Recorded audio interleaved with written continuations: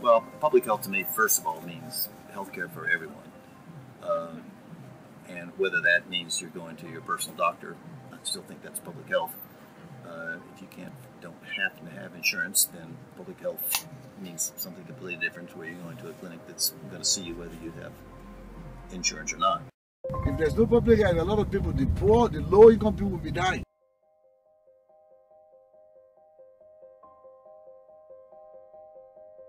Of all forms of inequality, injustice in healthcare is the most shocking and inhumane one, said Martin Luther King back in 1966. But what can be injustice in healthcare? Health disparities and inequities, defined as differences in health outcomes and their determinants between groups of people based on their social, economic, demographic, and environmental factors.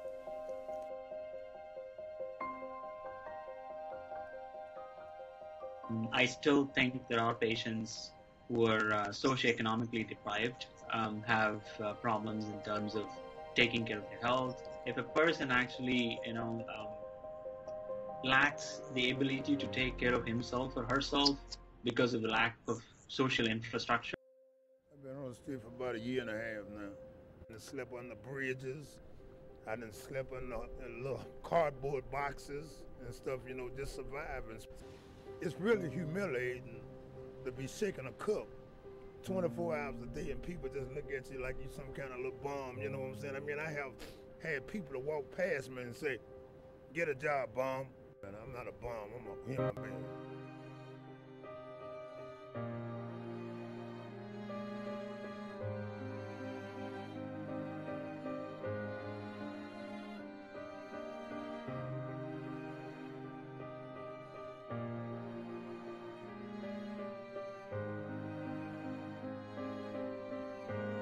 Hard.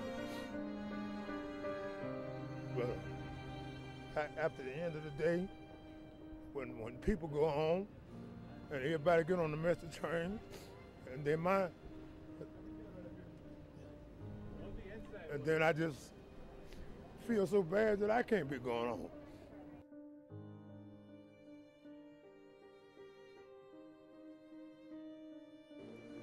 When we talk about prevention and homelessness, we need to talk about two things. We need to talk about preventing homelessness in the first place because of the health consequences that it carries. Uh, and when we talk about preventing homelessness in the first place, we have to talk about providing affordable housing for everybody, uh, providing accessible health care for everybody, and providing adequate. The role of public health in reducing disparities. Health disparities are the metrics used to measure health equity. As disparities are reduced, we move towards the goal of achieving health equity, which means no one is denied the possibility of being healthy for belonging to a disadvantaged group.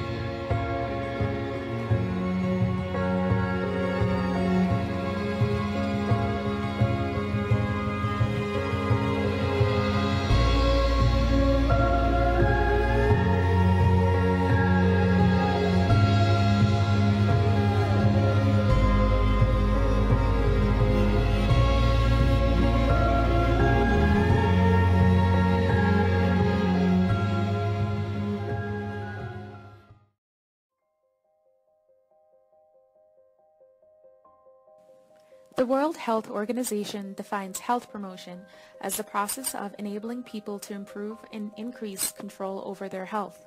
It considers not only individual behavior, but also social and environmental interventions. So why is health promotion important? Health promotion improves the health status of individuals, families, communities, and the nation through health education, health literacy, and encouragement of healthy behaviors. Health promotion prevents disease and disability. Health promotion reduces the number of premature deaths. Health promotion saves a lot of money.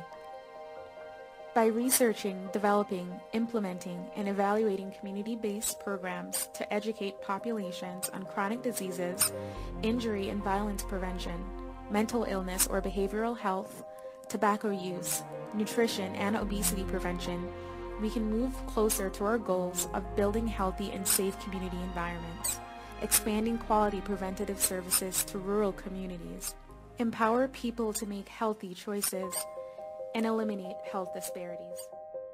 Health promotion should involve everything, not just the person's well-being, but also the environment in which they live. Environmental health includes all aspects of natural and built environment that can affect human health.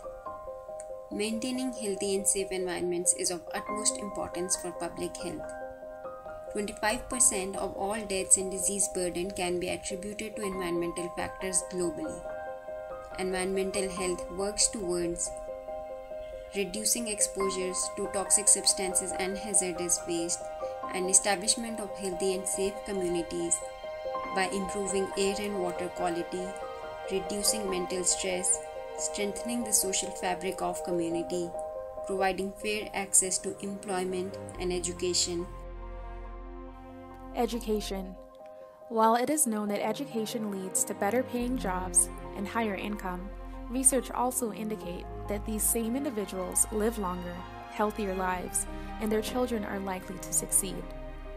College graduates are expected to live longer, have lower health risks, increase their child's survival, significantly increase the likelihood of their child's success, see overall less racial and ethnic disparities in education and income. If better education equals better lives, then healthier kids can grow into stronger, smarter, more successful, happier big kids.